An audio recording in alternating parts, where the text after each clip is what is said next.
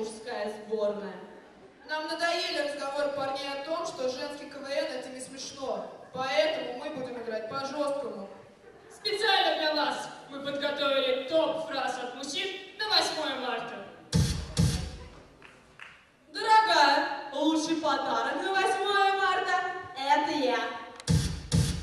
Милая, но айфон есть у всех. Давай я тебе лучше шоколадку подарю. На 23 февраля ничего не подарила. Нам это все надоело. Теперь мы будем жечь не по-женски. Ну что, сборная 9 марта, поехали!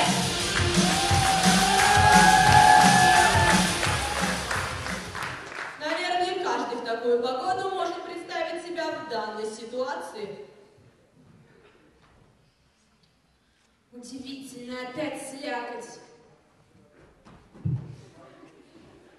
Удивительно. Опять подморозь.